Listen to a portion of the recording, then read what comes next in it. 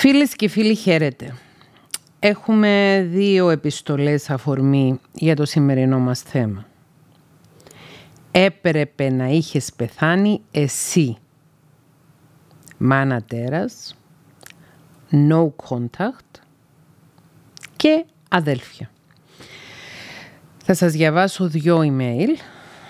Το πρώτο έρχεται από μια γυναίκα η οποία είναι 45 ετών η οποία έχει και δύο παιδιά και ζει στο εξωτερικό εδώ και λίγα χρόνια. Καλησπέρα κυρία Πετρίδου, καλησπέρα. Εδώ και λίγο καιρό βλέπω τα βίντεό σας και ένιωσα την ανάγκη να μοιραστώ μαζί σας την προσωπική μου εμπειρία. Μεγάλωσα σε μια οικογένεια με πολλά προβλήματα. Ήμασταν τρία αδέλφια με ένα χρόνο διαφορά το καθένα. Και λέω ήμασταν γιατί τον αδελφό μου, ένα χρόνο πιο μικρό από εμένα, εγώ είμαι το μεγαλύτερο παιδί, το μεσαίο παιδί δηλαδή, το χάσαμε στα 9 του χρόνια. Ήταν άρρωστος από 6 μηνών. Οπότε καταλαβαίνετε ότι μέχρι τα 10 μου μεγαλώναμε μόνοι μας, εγώ και ο άλλος αδερφός μου, πότε με γιαγιάδες και πότε με άλλους συγγενείς, με όποιον τέλος πάντων ήταν διαθέσιμος. Μετά το θάνατο του αδερφού μου, πριν από τα 10 μου χρόνια, δεν έχω καμιά ανάμνηση από τους γονείς μου. Όμως από τα δέκα μου και μετά άρχισε και το απόλυτο μαρτύριο μέσα στο σπίτι μας.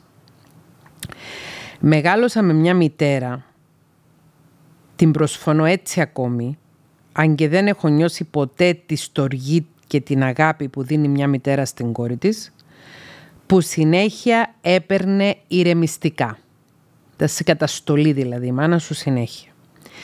Αναρωτιέμαι βέβαια ακόμη και σήμερα τι φάρμακα ήταν αυτά. Μόνο ηρεμιστικά δεν ήταν, γιατί το σπίτι μας ήταν κάθε μέρα σαν εμπόλεμη ζώνη. Συνέχεια καυγάδες και ουρλιαχτά. Αν δεν γινόταν το δικό της, την κυριολεξία ούρλιαζε. Με μένα βέβαια είχε το μεγαλύτερο πρόβλημα μέχρι και σήμερα, γιατί αντιδρούσα συνέχεια. Ίσως και εσύ όμως αντιδρούσες συνέχεια επειδή είχε το μεγαλύτερο πρόβλημα με εσένα.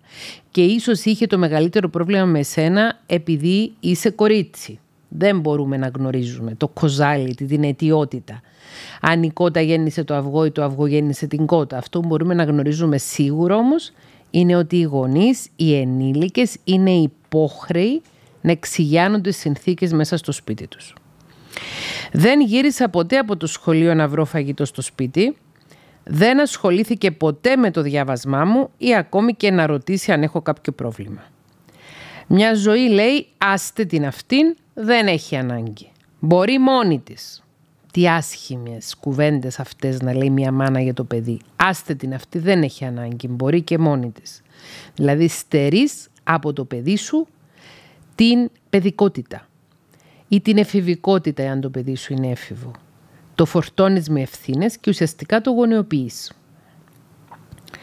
Πέρασα στο πανεπιστήμιο με απίστευτο προσωπικό κόπο αφού κάθε μέρα είχα καυγάδες και φώναζα ότι πρέπει να καθαρίζω αντί να ασχολούμαι με βλακίες. Το διάβασμα. Ακαλά. Είναι χειριστική και δεν την νοιάζει τίποτε άλλο, μόνο εαυτός της. Έφυγα πολλές φορές από το σπίτι της με κλάματα για τις κατάρες που μου έλεγε και τα άσχημα λόγια αν δεν εκτελούσα τις συμβουλές της. Πάντα φώναζε «Καλύτερα να είχα πεθάνει εγώ και όχι το άλλο της το παιδί». Τι απέσια λόγια να πει μια μάνα στην κόρη της. Τι απέσια λόγια. Και δεν τη δικαιολογεί κανένα πένθος που έχασε παιδί. Απέσια λόγια. Απέσια. Απέσια. Απέσια. Ακόμη και παντρεμένη που ήμουν, έλεγε σε όλους, ακόμη και στον άντρα μου, πώς την αντέχεις αυτήν. Είναι αχάριστη και εγωίστρια και φθονερή η μάνα σου. Και προσπαθούσε να σου προκαλέσει πρόβλημα μέσα στο γάμο σου λέγοντας αυτά τα λόγια. Υπάρχουν τέτοιες φθονερές μη παύλα τέρες. Τέρατα, μητέρες τέρατα, όχι μητέρες μητρικές.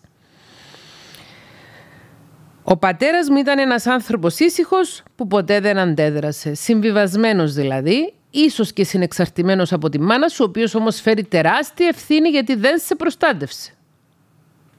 Μια ζωή νόμιζα ότι ο πατέρας μου ήταν το στήριγμά μου Όμως έφτασα 45 να καταλάβω ότι τελικά δεν βοήθησε ποτέ. Όχι, δεν βοήθησε και απέτυχε στο να σε προστατεύσει. Έφυγε νωρίς, 50 χρονών, από καρκίνο. Ε, δεν θα επιβιώνει μαζί της άνθρωπος. Ακόμη και όταν ο πατέρας μου ήταν άρρωστος, αυτή έκανε απόπειρες αυτοκτονίας, θέατρο έπαιζε για να ασχοληθούμε μαζί της. Έτσι είναι η ναρκήση. Θέλουν να έχουν πάντα τη σκηνή. Όλοι να ασχολούνται μαζί τους. Ακόμη και σήμερα, όταν έρχομαι το καλοκαίρι στην Ελλάδα, πηγαίνω στο σπίτι της και είναι για μένα μαρτύριο. Να μην πηγαίνεις. No contact. Να μην πηγαίνεις. Με το που φτάνω εκεί νιώθω ότι δεν μπορώ να αναπνεύσω και έχω απίστευτα νεύρα.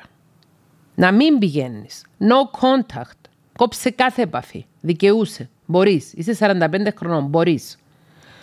Όλα τα χρόνια ήμουν πολύ νευρική, ούρλιαζα με το παραμικρό, μάλωνα με το σύζυγό μου και δεν μπορούσα να έχω εύκολα κοινωνική ζωή. Ένιωθα πάντα ένα αίσθημα κατωτερότητας, αν και είμαι ένα άτομο ανεξάρτητο που έχει καταφέρει πολλά πράγματα μόνο του. Ένιωθα ότι κανείς δεν με ακούει και δεν με νοιάζεται. Αν χρειαζόμουν κάτι, απλώς φώναζα για να με ακούσουν. Αυτή είναι η αντίδραση ενός κακοποιημένου παιδιού. Αυτή είναι η αντίδραση ενός συναισθηματικά παραμελημένου παιδιού. Αυτή είναι η αντίδραση ενός καταφρονημένου παιδιού. Εσχρή μάνα σου, εσχρή. Καθόλου μητρική. Πριν από λίγο καιρό όμως ένιωσα ότι έφτασα στο τέλος. Ένιωσα, ένιωθα ότι χάνω το μυαλό μου. Παρεπιπτόντως όλα αυτά τα χρόνια έπαιρνα και εγώ ερεμιστικά κατά καιρούς, όταν δεν μπορούσα να ελέγξω τη μεγάλη στεναχώρια που είχα μέσα μου. Έκανα και ψυχοθεραπεία, αλλά χωρίς αποτέλεσμα. Τερεμιστικά δεν είναι θεραπεία. Δεν είναι θεραπεία. Πριν από κάτι μήνες, επιτέλους πήγα σε ψυχία τον Μπράβο και άρχισε αντικαταθλιπτική αγωγή.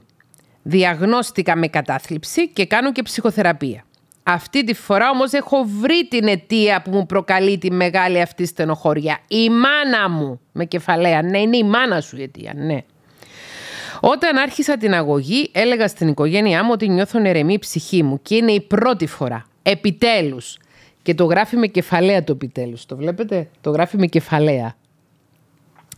Κάθε μέρα προσπαθώ να γνωρίσω τον εαυτό μου και να τον αγαπήσω, γιατί 45 χρόνια δεν ήξερα πώς να το κάνω. Σε καταλαβαίνω απόλυτα.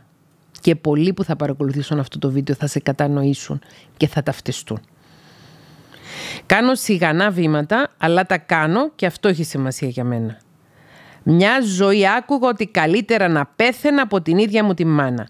Δεν πέθανα όμως, είμαι εδώ και θα τα καταφέρω. Θα τα καταφέρεις, είμαι σίγουρη.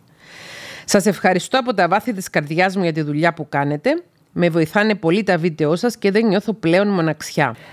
Κατάλαβα ότι και άλλοι άνθρωποι έχουν την ίδια μεγάλη στεναχώρια όπως εγώ γιατί πραγματικά θα ήθελα τόσο πολύ να είχα κι εγώ μια μαμά να μπορώ να πάρω ένα τηλέφωνο και να ακούσω λόγια αγάπης. Δεν είσαι μόνη σου που θα το ήθελες αυτό το πράγμα, αλλά δεν το έχεις και δεν μπορείς να το έχεις.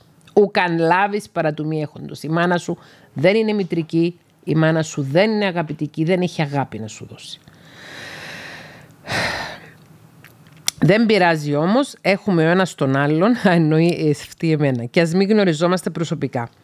Αν μπορείτε και έχετε χρόνο, κάποια στιγμή κάντε ένα βίντεο για μένα. Θα ήθελα τόσο πολύ να ακούσω τις συμβουλές σας. Ευχαριστώ πολύ και συγγνώμη αν σας κούρασα. Αγάπη μου, δεν με κούρασες καθόλου και σε ευχαριστώ πάρα πολύ που έστειλες αυτό το email γιατί μας έδωσες την ευκαιρία να μιλήσουμε για αυτό το ζήτημα για άλλη μια φορά, αλλά ποτέ δεν είναι αρκετές όσες φορές και αν μιλήσουμε, γιατί ο δεσμός που νιώθει ένα παιδί με τη μάνα του, όσο χρόνο για γίνει το παιδί, είναι τόσο ισχυρός, γιατί πρόκειται για την πρώτη σχέση που είχε ποτέ στη ζωή του, γιατί πρόκειται για μια συναισθηματικά φορτισμένη σχέση και επειδή υπάρχει και όλα αυτά τα κοινωνικά στερεότυπα και τα πρέπει, που προτρέπουν τα παιδιά να έχουν σχέση με τους γονείς τους και όλες αυτές οι μπουρδες που λέγονται ότι όλες οι μητέρες είναι καλές μητέρες και ότι πρέπει να σεβόμαστε τη μάνα μας και όλη αυτή η φαντασίωση που έχουμε στο μυαλό μας ότι από τη στιγμή που μας γέννησε και είναι μάνα μας είναι και μητρική. Ξαναλέω όμως ότι δεν είναι όλες οι μανάδες μητρικές. Και θα διαβάσω και ένα ακόμη ε, ερώτημα έρχεται από μια φίλη η οποία μιλάει για το no contact. No contact με τη μάνα της και το ρόλο των αδερφιών της. Λέει, όσο και αν το πήραμε απόφαση συνειδητά για no contact, όσο και αν ξαναγεννόμαστε, ξαναγεννιόμαστε λες και ζούμε για πρώτη φορά μετά το no contact, no contact σημαίνει να κόψεις κάθε επαφή με κάποιον, στην περίπτωση αυτή με την τοξική σου μάνα, που δεν είναι μητρική. Όσο και ξαναγεννιόμαστε λες και ζούμε για πρώτη φορά χωρίς δεσμά και φόβους, όσο και αν βλέπουμε τα ωφέλη της νέας μας ζωής, πάντα πονάει η σκέψη ότι έχεις μια μάνα που δεν σε αγάπησε ποτέ. Αν δεν το δουλέψεις ψυχοθεραπευτικά και ψυχοεκπαιδευτικά και πνευματικά, πάντα θα πονάει. Εάν κάνεις όμως ραγδαία αποδοχή, radical acceptance, θα πάψει να πονάει και θα πω στη συνέχεια γι' αυτό. Και τώρα που αποφάσισες επιτέλους να απομακρυνθείς από τη μάνα σου και να πας no contact, αυτή η αδιαφορή κάνει πράγματα επιδεικτικά για να καταλάβεις ότι δεν την νοιάζει, ότι δεν της κοστίζει τίποτα. Αυτά τα πράγματα που κάνει επιδεικτικά για να καταλάβεις ότι δεν την νοιάζει και δεν της κοστίζει τίποτα, αποδεικνύουν ακριβώς ότι ο ματιωμένος της ναρκισιστικός εγωισμός έχει πληγεί. Αν και δεν θα έπρεπε να μας ενδιαφέρει πώς νιώθει ένας άνθρωπος που πάμε no contact από αυτόν για να σώσουμε τη ψυχή μας, τη ζωή μας, τη ψυχική και σωματική μας υγεία. Εσύ περνάς από κόλαση για να την πεθύσεις και να διατηρήσεις το no contact και εκείνη ούτε πενθεί. Μάλλον ξαλαφρώνει που σε ξεφορτώθηκε. Δεν ξέρω αν υπάρχει κάτι χειρότερο για έναν άνθρωπο από αυτό. Σε ευχαριστώ πολύ, ο μέντοράς μας όλους, εμάς που είχαμε αυτή την, ατυχία, την ατυχία στη ζωή. Να γεννηθούμε με μητέρες οι οποίες δεν ήταν μητρικές. Τις γράφω εγώ, επίτηδες το κάνει, μη μασάς. Και μου θύμισε το τραγούδι της Βύση που λέει να, να του πείτε πως περνάω καλά, να του πείτε ότι είμαι μια χαρά, ενώ δεν είναι καλά γιατί την έχει χωρίσει ο άλλος. Ναι, θέκλα μου, μου απαντάει η φίλη, στο επίτηδες το κάνει μη μασάς. Είναι ένα τέρας ψυχρότητας και μεγάλος χειραγωγός. Μετανιώνω που δεν το έκανα νωρίτερα. Μόνο αυτό. Εξακολουθείς όμως να στενοχωριέσαι που η μάνα σου δεν είναι μητρική, άρα έχεις πολλή δουλειά να κάνεις ακόμη στη ψυχοθεραπεία και στη ψυχοεκπαίδευση και στον προσωπικό αγώνα. Και εδώ θέλω να πω ότι πολλές φορές νομίζουμε ότι αν φτάσουμε και κάνουμε το no contact ότι τελείωσε. Εντάξει, πήγα ο contact με τους γονείς μου. Δεν χρειάζεται πλέον να διαβάζω ψυχοεκπαιδευτικά βιβλία. Δεν χρειάζεται πλέον να ακούω ψυχοεκπαιδευτικά βίντεο. Δεν χρειάζεται πλέον ή να παρακολουθώ ψυχοεκπαιδευτικά βίντεο. Συνήθως τα ακούτε οι περισσότεροι στα ακουστικά. Δεν χρειάζεται πλέον να κάνω ψυχοθεραπεία. Όχι, τότε είναι που χρειάζεται. Τότε είναι που δεν πρέπει να σταματάς την τροφή τη συναισθηματική και τη ψυχική και την πνευματική που παίρνεις μέσα από την ψυχοθεραπεία, την ψυχοεκπαίδευση και να μην σταματάς τον προσωπικό σου αγώνα, τον πνευματικό σου αγώνα για να αλλάξεις ουσιαστικά τη ζωή σου. Συνεχίζει η φίλη και λέει η αδερφή μου, η επαφή μου με τη μια αδερφή μου είναι low contact μαζί της, με ενοχλεί λίγο η επαφή μου με την άλλη, η οποία είναι 10 χρόνια μεγαλύτερη, αλλά δεν θα τολμήσει να πάει no contact, με ενοχλεί επίσης. Δεν θέλω όμως να χάσω επαφή με τις αδερφές μου εντελώς. Δεν είμαστε συνδεδεμένες, γιατί φρόντισε το τέρας να μας βάζει σκάνδαλα, διέρη και βασίλευε από μωρά, για να μην θέλουμε μια την άλλη. Αλλά μας δένουν όλα τα βασανιστήρια που μας έκανε. Όμως καταλαβαίνω ότι το no contact με τις αδερφές μου θα μου έκανε καλό. Τις γράφω κι εγώ. Εφόσον δεν είσαστε συνδεδεμένες, τι κρατάς στο low contact, τι λόγος υπάρχει; Γιατί κρατώντας low contact, χαμηλή επαφή με τις αδερφές της, οι οποίες έχουν επαφή με τη μάνα τους, κρατάει εκ τους, ε, εξ αντανακλάσεως επαφή και με τη μάνα της στην ουσία. Άρα δεν είναι no contact με τη μάνα μας σου αυτό, όταν κρατάς επαφές με τους υπτάμενους πυθίκους της. Ξέρω εγώ μου λέει για να νιώθω ότι έχω ακόμη οικογένεια με τον πατέρα μου έχω πολύ χαμηλό κόνταχ όταν του το επιτρέπει το τέρας λίγα λεπτά κάθε μερικούς μήνες με δική τους πρωτοβουλία. Το mastermind, δηλαδή το, το μυαλό το οποίο κατευθύνει το ραδιουργό, το ραδιουργό μυαλό, το έχει εκείνη. Όλοι οι άλλοι τα θύματα της. Δεν έχω σοβαρό λόγο για no contact με τις αδερφές, αλλά επειδή εκείνες έχουν επαφή με το τέρας, γίνονται κατά καιρούς Flying monkeys, οι πτάμενοι πίθηκοι. Οι πτάμενοι πίθηκοι είναι οι άνθρωποι οι οποίοι εξακολουθούν να έχουν επαφές με το τοξικό πρόσωπο με το οποίο εμείς υποτίθεται ότι κόψαμε επαφές και μεταφέρουν τα μηνύματα. Άρα κάνουν τη δουλειά του τοξικού προσώπου. Μιλώντας μαζί τους για το παρελθόν, γιατί έχουμε και διαφορά μεταξύ τους, μεταξύ μας, κάποια χρόνια, εγώ είμαι η μικρότερη, και κάθε μια βίωνε πράγματα σε άλλη ηλικία και σε άλλη χώρα, μαζί με το τέρας, δηλαδή τη μάνα, κάποτε βοηθά να καταλάβουμε και άλλα πράγματα, αλλά δεν θέλω πλέον να καταλάβω άλλα. Φτάνει. Δεν με ενδιαφέρει να καταλάβω, αλλά ούτε να βρω τον λόγο που το τέρας είναι τέρας. Δική της ευθύνη να τα καταλάβει δεν με αφορούν. Επιτέλους. Ιδανικά no contact με κανέναν τους ρεθέκλα μου. Λυπούμε όμως τα μωρά μου γιατί δεν έχουν γιαγιάδες παππούδες. Η πεθερά μου είναι επίσης τοξική. Να μην έχουν ούτε θείες. Βέβαια τώρα είναι έφηβες, είναι μεγάλες και δεν έχει τόση σημασία πλέον. Και ένα άλλο σχόλιο για το no contact με αδέρφια. Ε, λέει μια φίλη, το έχω κάνει εδώ και καιρό, αλλά εκείνοι χαμπάρι δεν παίρνουν και συνεχίζουν να επικοινωνούν μέσω mail και μηνυμάτων στον τηλεφωνητή μου. Σιγά μην απαντήσω. Λες και δεν τους, δεν τους έχω εξηγήσει ήδη από το 2012 ότι δεν θέλω επαφές. Με κεφαλαίο το δεν θέλω επαφές. Πλησιάζουν γιορτές, ήταν λίγο πριν τις γιορτές του Χριστουγέννου που γράφτηκε αυτό το σχόλιο, και πάλι θα αρχίσουν τα μηνύματα για να τα πούμε. Τι να πούμε; Το μόνο που θέλουν από εμένα είναι η επιβεβαίωση πως όλα είναι ok. Σε παρακαλώ, κάνε ένα βιντεάκι, please, please, please. Λοιπόν, λοιπόν.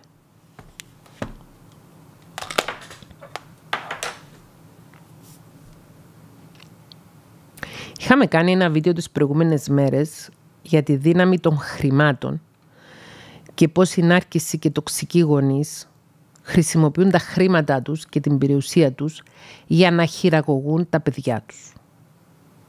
Και για να χειραγωγούν και τα χρυσά παιδιά αλλά και τα μαύρα πρόβατα μιας οικογένειας. Χρυσά παιδιά είναι αυτά που έχουν δεχθεί λιγότερη ναρκισιστική κακοποίηση και που οι γονείς τα χρησιμοποιούσαν για να τονώνουν το εγώ τους. Δηλαδή Δηλαδή το Κωστάκι, τι καλός μαθητής που είναι. Άρα, εγώ με καλή μάνα που έκανα τον Κωστάκι μου είναι καλός μαθητής. Είδατε τη Μαριγούλα, πόσο όμορφη είναι. Άρα, εγώ είμαι όμορφη και πήρε από μένα το παιδί μου και έγινε όμορφο και ούτω καθεξής.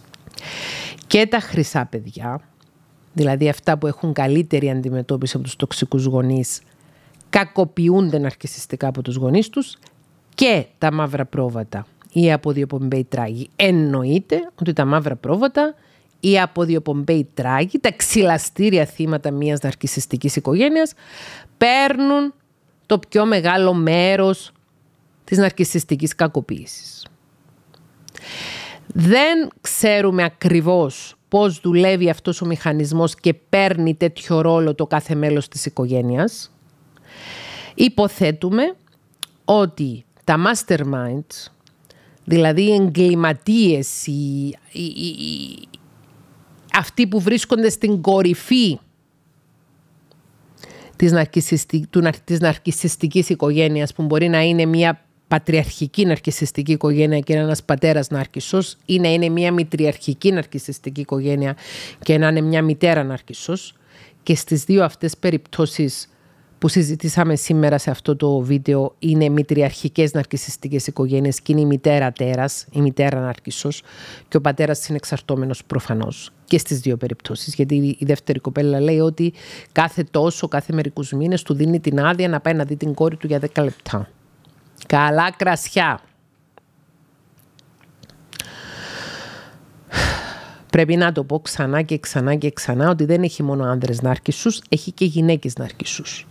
Δεν γνωρίζει φίλο ο ναρκισισμός και η κακοποιητικότητα. Δεν γνωρίζει φίλο. Κάλλιστα μπορεί μια γυναίκα να είναι ναρκισσός, ένας άνδρας να είναι ναρκισσός. Λοιπόν, και στις δύο αυτές περιπτώσεις μιλάμε για οικογένειες τις οποίες τα μαύρα πρόβατα ή από δύο πομπέι τράγοι ε, είναι αυτοί που γράφουν τα email και οι δύο περιπτώσεις είναι πολύ άσχημες. Η πρώτη περίπτωση είναι έτσι πιο εύγλωτη και πιο γλαφυρή γιατί μας περιγράψει και όλο το ιστορικό. Ενώ στο δεύτερη, στη δεύτερη περίπτωση ε, οι προβληματισμοί ήταν για το no contact και μετά. Αλλά μπορώ να φανταστώ στιγμές απειρού κάλους και στη δεύτερη περίπτωση. Ήταν μια συνομιλία που έγινε ε, μέσω Messenger την οποία την μετέφερα στο σημειωματάρια μου για αυτό το βίντεο η δεύτερη συνομιλία, άρα γι' αυτό δεν έχει δομή να ξεκινήσει να μου λέει την ιστορία από την αρχή. Λοιπόν, είναι τραγικό και κακή τύχη να μεγαλώσεις μέσα σε μια τέτοια οικογένεια και να έχεις πάρει και το ρόλο του μαύρου προβάτου, του εξυλαστήριου θύματος. Το αποδιοπεμπαίο τράγου. Είναι τραγικό. Το έχω πει και άλλες φορές ότι η μεγαλύτερη τύχη ή ατυχία είναι σε ποια οικογένεια θα γεννηθείς και τι θέση θα έχεις. Και έλεγα προηγουμένως ότι δεν ξέρουμε με ποιο τρόπο επιλέγονται τα μαύρα πρόβατα. Υπάρχουν διάφορες υποθέσεις ότι μπορεί ένας κακοποιητικός γονιός να βγάζει το μένος του πάνω στο παιδί που είναι το πιο ευαίσθητο από τα υπόλοιπα παιδιά, πάνω στο παιδί το οποίο του μοιάζει ή πάνω στο παιδί το οποίο μοιάζει σε κάποιο πρόσωπο που μισεί, για παράδειγμα στο παιδί που μοιάζει στην πεθερά της ή στην πεθερά του που μισεί ή στον άντρα της ε, που τον μισεί, στη γυναίκα του και ούτω καθεξής. Φαίνεται ότι τα παιδιά τα οποία γίνονται στόχος ναρκισιστικής κακοποίησης, τα μαύρα πρόβατα, είναι παιδιά τα οποία έχουν υψηλή ψυχική ανθεκτικότητα και αντέχουν πράγματα απίστευτα, τα οποία όμως τα αντέχουν με τεράστιο ψυχικό και συναισθηματικό κόστος. Τεράστιο, τεράστιο. Γι' αυτό και η κοπέλα στο πρώτο mail λέει ότι για χρόνια η ίδια ήταν σε πολύ δυσχερή κατάσταση, ήταν δυστυχισμένη, ε, είχε ξεσπάσματα θυμού και είναι ξεσπάσματα θυμού το οποίο έχουν να κάνουν με τη διαταραχή μετατραυματικού στρες και τη σύνθετη διαταραχή μετατραυματικού στρες, ότι δεν είχε πάρει την ορθή διάγνωση, ότι της έδιναν απλώς ηρεμιστικά και μάλλον ο γιατρός που δεν είναι τα ψυχίατρο σας δεν είναι τα ρεμιστικά, γι' αυτό είναι απαραίτητο όταν έχουμε θέματα με την ψυχική μας υγεία να πηγαίνουμε σε ψυχίατρο και όχι σε γενικό γιατρό ή γιατρό άλλης ειδικότητας, σε ψυχίατρο. Και ότι όταν πήρε όντως την ορθή αγωγή, που ήταν η αντικαταθλιπτική αγωγή και της έγινε η ορθή διάγνωση, ότι είχε ένα, μία μορφή κατάθλιψης, τότε όταν άρχισαν να δουλεύουν τα φάρμακα, τα αντικαταθλιπτικά και να κάνει παράλληλα και τη θεραπεία της, το έχουμε πει πολλές φορές ότι εάν έχεις θέμα με κατάθλιψη α, οποιασδήποτε μορφής και πολλές φορές μια διάγνωση κατάθλιψης μπορεί να συμπεριλαμβάνει και τη σύνθετη διαταραχή με τα τραυματικού στρες που έχουμε πει ότι ακόμη δεν έχει α, καταχωρηθεί στο DSM που είναι το Αμερικάνικο εγχειρίδιο καταχώρησης ψυχικών διαταραχών και διαγνώσεων έχει όμως συμπεριληφθεί στο ICD, ε, το αντίστοιχο του Παγκοσμίου Οργανισμού Υγείας, το οποίο έχει ε, ανάλογο section για ψυχικές διαταραχές. Το ICD είναι για όλες τις ε, σωματικές διαταραχές και τις ψυχικές. Λοιπόν, μία διάγνωση κατάθλιψης στις μέρες μας μπορεί να σημαίνει και τη σύνθετη διαταραχή με τα τραυματικού στρες. Η διάγνωση πρέπει να γίνεται από ψυχίατρο, η συνταγογράφηση αντικαταθλιπτικών πρέπει να γίνεται μόνο από ψυχίατρο και να παρακολουθεί ο ψυχίατρος στην πορεία. Και όπως πολύ ορθά έκανε αυτή η φίλη, πήγε στο ψυχίατρο, της έκανε τη διάγνωση, της έδωσε την αντικαταθλιπτική αγωγή, την παίρνει ορθά και παράλληλα κάνει ουσιαστική ψυχοθεραπεία. Όταν αυτά τα δύο συνδυάζονται, τότε μπορεί να έχουμε τεράστιες πρόοδου. Να φύγει η ομίχλη από το μυαλό μας, αυτό το brain fog που λένε στα αγγλικά. Όταν είσαι αδιάγνωστος και αθεράπευτος, όταν δεν δέχεσαι τη σωστή ψυχοθεραπεία και την κατάλληλη φαρμακευτική αγωγή που θα στη γράψει ξαναλέω ψυχίατρος, όχι άλλος γιατρός, τότε μπορεί να βρίσκεσαι σε μία σύγχυση, να μην ξέρεις τι σου γίνεται, να μην ξέρεις τι είναι αυτό που σε στενοχωρεί και να μην βλέπεις καθαρά τι συμβαίνει στη ζωή σου. Η φίλη είδε καθαρά, μετά που έκανε την αντικαθλιπτική αγωγή και την ψυχοθεραπεία, και ξεκίνησε, μπήκε στη ψυχοθεραπεία, ότι για όλα ευθυνόταν η μητέρα της. Η άλλη φίλη ξέρει ότι ευθύνεται για όλα η μητέρα της, πήγε no contact, αλλά εξακολούθησε να έχει επαφές με τα αδέρφια της, τα οποία λειτουργούν ως συνδετική κρίκη με τη μάνα της, οι αδερφές της, εφόσον εξακολουθούν να έχουν σχέσεις μαζί της. Λοιπόν, εάν έχουμε έναν γονιό τέρας, μία μητέρα που δεν είναι μητρική, έναν πατέρα που δεν είναι πατρικός και αντιληφθούμε πόσο μεγάλη ψυχική, σωματική ζημιά μας κάνει η σχέση μας και η επαφή μας με αυτό το γονιό, όταν αντιληφθούμε ότι η τοξικότητα αυτού του γονιού μας διαπερνά και μας διαλύει ψυχικά και συναισθηματικά αν το το διαλύει, τότε είναι πολύ καλή επιλογή να κόψουμε κάθε σχέση, να πάμε no contact. Για να μπορέσουμε όμως να αποφασίσουμε το no contact και να το τηρήσουμε το no contact, πρέπει να κάνουμε ψυχοθεραπεία, ψυχοεκπαίδευση και πολύ προσωπικό αγώνα. Και πρέπει να σιγουρευτούμε ότι θα κόψουμε σχέσεις και με όλους όσοι μεταφέρουν μηνύματα από αυτόν τον τοξικό άνθρωπο. Πώς το ήξερε η δεύτερη κοπέλα ότι η μάνα της είναι μια χαρά, δύο λαλούν και τρεις χορεύουν και το παίζει cool και light και δεν την νοιάζει τίποτα επειδή της το μετέφεραν οι αδερφές της. Μπορεί με έναν αδερφό, μία αδερφή ή με δύο αδερφές ή δύο αδερφούς, δεν ξέρω πώς έχει ο καθένας, να βρίσκουμε κάποια κοινά στοιχεία ότι ναι ρε παιδί μου η μάνα μας ήταν έτσι, ο πατέρας μας ήταν έτσι κλπ. κλπ. Όμως, όμως, εάν εμείς βρισκόμαστε υπό την επίρρεια της ναρκισιστικής κακοποίησης του γονιού με τον οποίο πάμε no contact και η οποιαδήποτε σχέση με τα αδέρφια μας μας δίνει ανατροφοδότηση από το τι λέει και τι κάνει αυτός ο τοξικός και ανάρχιστος γονιός, τότε το no contact μας δεν είναι no contact. Δεν είναι. No contact σημαίνει να μην έχεις καμία επαφή. Να μην μαθαίνεις τίποτα για εκείνο το πρόσωπο. Να μην ασχολείσαι με εκείνο το πρόσωπο. Η πρώτη κοπέλα φαίνεται εξαιρετικά πιο ενδυναμωμένη από τη δεύτερη κοπέλα και πιστεύω ότι ο λόγος είναι επειδή κάνει τη ψυχοθεραπεία της, επειδή ψυχοεκπαιδεύεται τακτικά και επειδή παίρνει και τη σωστή αντικαταθλιπτική θεραπεία που τη συνταγογράφησε ψυχίατρος. Η δεύτερη κοπέλα χρειάζεται οπωσδήποτε να ξεκινήσει ψυχοθεραπεία εντατικά, να πάει σε ένα ψυχίατρο να της γίνει διάγνωση γιατί είναι πάρα πολύ σύνηθες φαινόμενο. Μετά από χρόνια ναρκισιστική κακοποίηση, ιδιαιτέρως από τοξικό γονιό, να δημιουργηθούν υπαρκτά ψυχολογικά ζητήματα, υπαρκτές ψυχικές διαταραχές σαν άνθρωπο, οι οποίες να χρειάζονται αντιμετώπιση με ψυχοθεραπεία και με φαρμακοθεραπεία παράλληλα. Παθαίνει τεράστια φθορά το νευρικό σύστημα ενός ανθρώπου ο οποίος συνεχώς δέχεται ματαιώσεις, επικρίσεις, απογοητεύσεις, ξεσπάσματα ναρκισιστικής οργής.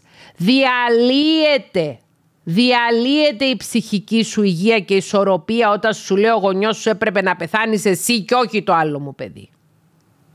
Όταν πας και ξαναπάς στο σπίτι του θήτη σου και κάθε φορά που πας σου κάνει τα νεύρα σου σμπαράλια και σε επανατραυματίζει και σε επανακακοποιεί, τότε χρειάζεται πολλή δουλειά πολλή δουλειά και από εσένα και από ειδικούς για να επανέλθεις σε μια φυσιολογική κατάσταση.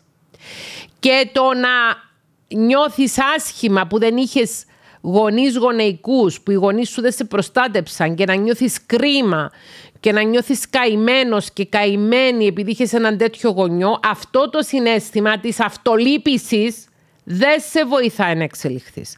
Δεν σε βοηθάει να πάρεις τη ζωή σου στα χέρια σου. Δεν σε βοηθάει να απελευθερωθείς.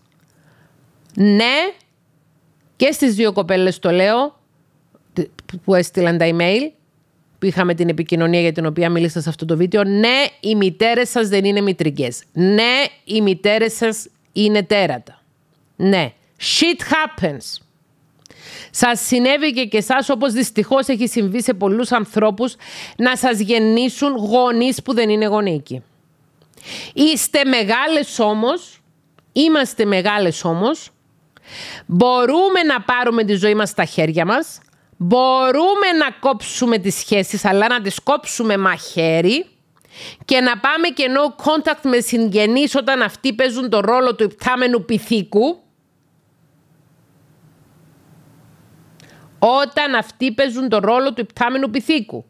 Δηλαδή, αν έχουμε πάει no contact με τη μάνα μας ή με τον πατέρα μας και εξακολουθούμε να έχουμε επαφές, έστω και χαμηλές επαφές, έστω και λίγες επαφές με τα αδέρφια μας και κάθε φορά που θα βρεθούμε με τα αδέρφια μας μετά είμαστε αποδιοργανωμένοι συναισθηματικά και έχουμε συναισθηματική απορρίθμιση, σημαίνει ότι τα αδέρφια μας λειτουργούν ως υπτάμενοι πίθηκοι.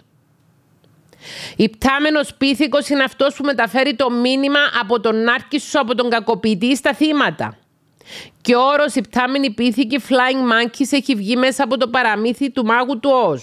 Έχουμε μιλήσει και άλλες φορές για τον όρο υπτάμενη πίθηκη. Κάποια αδέρφια παίζουν το ρόλο του υπτάμενου πυθίκου. Όταν παίζουν αυτό το ρόλο, αναγκαστικά πρέπει να πάμε no contact και με τα αδέρφια μας. Για να σώσουμε τη ψυχική και σωματική μας υγεία. Για κανέναν άλλο λόγο. Όχι για να τους πικάρουμε, όχι για να πάμε κόντρα στον άρχισο και, το, ε, και τοξικό γονιό, όχι. Για να σωθούμε. Όταν μας διακατέχουν συναισθήματα εκδίκησης προς τους γονιούς που δεν μας φέρθηκαν καλά, ακόμη και αν πάμε no contact, ίσως και εμείς ήδη προσπαθούμε μέσω των υπτάμενων πυθίκων να μεταφέρουμε εκδικητικά μηνύματα προς το πρόσωπο από το οποίο υποτίθεται έχουμε αποκόψει επαφή. Οπότε είναι δίκοπο μαχαίρι. Μπορεί και εμείς να ξεκινάμε αυτή την αφίδρομη επικοινωνία.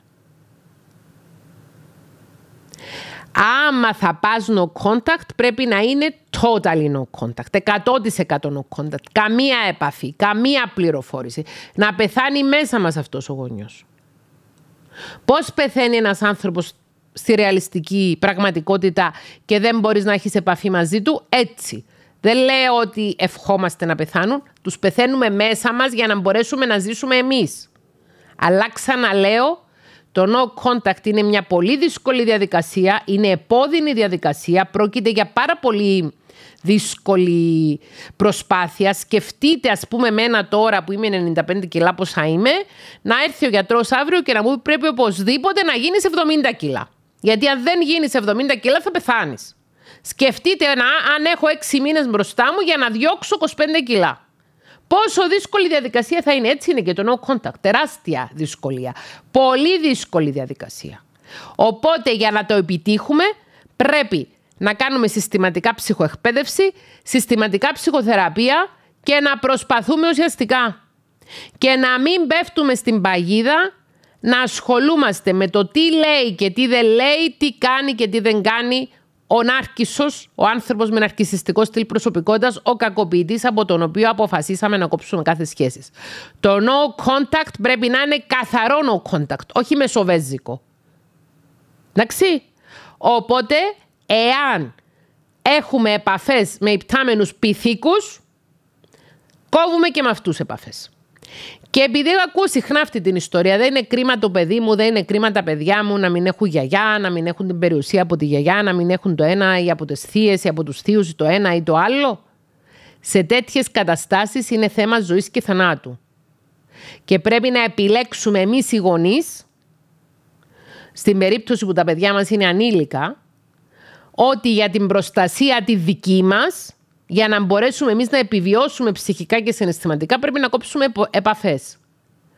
Και εάν τα παιδιά μας είναι ανήλικα, μπορεί να χρειαστεί να κόψουμε επαφές και τα, και τα παιδιά να κόψουν τους παππούδες και τις γιαγιάδες. Δεν θα πάρετε από αυτό το βίντεο γενικές οδηγίες.